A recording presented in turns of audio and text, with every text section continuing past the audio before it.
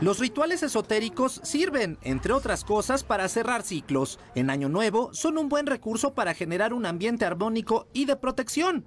Las y los poblanos comparten sus ideas para este cambio de año. Lo que usualmente hago es hacer una lista sobre los deseos o cosas que quiero hacer en el año y pues así tengo como una visión de lo que quiero hacer y ya después lo que quiero aprender a hacer es pues no sé, de que luego a veces tienen la, creencia de echar que creo que es arroz y lo echan como a la parte de arriba para que dicen que es para que este, tengas abundancia, dinero. Lo que sí hago es barrer mi casa para que el nuevo año entren nuevas energías a mi hogar y así estemos positivos todo el año.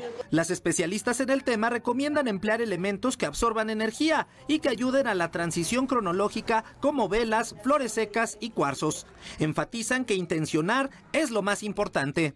La verdad es que a mí me encanta hacer rituales muy sencillos con la finalidad de que puedan ser con apertura para todas las personas. Un ejemplo, con veladoras o con velas, con cuarzos, con hierbas, que además también son de un bajo costo para que puedan ser accesibles para todas las personas con intenciones maravillosas para su vida. La angeloterapeuta puntualizó que tales rituales pueden realizarse desde el primer día de diciembre para preparar el espacio. Pues a mí me encanta hacer rituales para todo y además durante todo el año tenemos diferentes portales que podemos ir aprovechando. Pero bueno, en este caso que estamos hablando del cierre de año, podemos desde el primero de diciembre se trabaja como un tipo calendario de adviento en espera de lo que es la Navidad y podemos empezar a hacer pequeños ritualitos para que nuestra Navidad y esta época del año sea diferente y cerrando el año diferente pues también lo iniciamos con una energía diferente. Con imágenes de Kevin Lizana, Beto Castillo, Fuerza Informativa Azteca.